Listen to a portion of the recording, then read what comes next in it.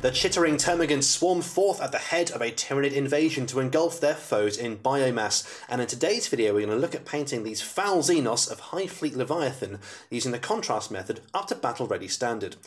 Now we've already undercoated our model here with Wraithbone spray, and the first thing we're going to do is apply a liberal coat of Volupus pink mixed with contrast medium all over the entire model.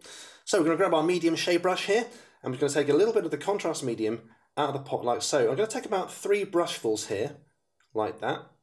And then I'm going to take one brushful of Volupus Pink and just mix it in there. So we've got a really diluted Volupus Pink. In fact, I think I'm going to add a bit more of the contrast medium, like so. There we go, nice and thin down.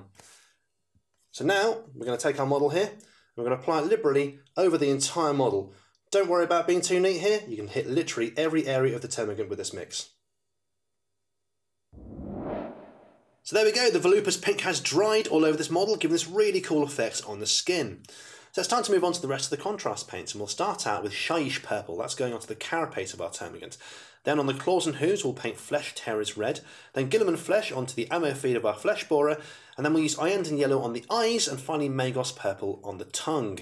So let's grab our medium shade brush here and start out with Shyish Purple. I'm going to take a little bit of the paint out of the pot like this. We're not going to thin this down, but we are make sure the brush is not overloaded.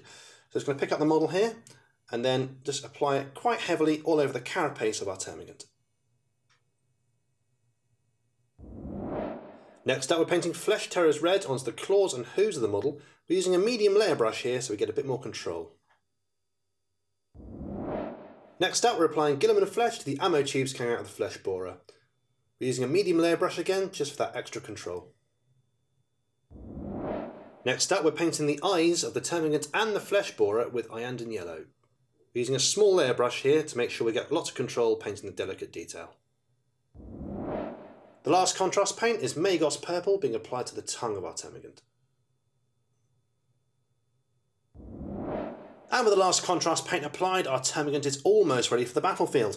There's only one thing left to do, and that's to apply a textured base to our model. Now, we're going to use Stirland Mud for ours, but you can of course use whichever colour you like for your miniature. Now we're going to grab our medium texture tool here, and just load up our tool with Stirland Mud from our pot like so, and then onto our miniature, we're going to apply it quite thickly onto the base, like so, being very careful not to hit the hooves of our Termagant. Once we've loaded on the model like that, we're going to just turn the tool round and just be very careful with the thin end to apply it around the base. Now you want to wait about 30 minutes for this to fully dry and when it is we're going to paint the rim of the base with Steel Legion Drab. And with our base dry, our Termagant is battle ready. So there we go, that's how you can get your Hive Fleet Leviathan Tyranids on the table in no time at all. When you're using this method, make sure you apply lots of contrast medium to the mix when you're using your Volupus pink. That way it's a nice diluted colour and the skin will look great. Also, when you apply your texture base, allow about 30 minutes for it to fully dry. Hope this one helps you out. Happy painting.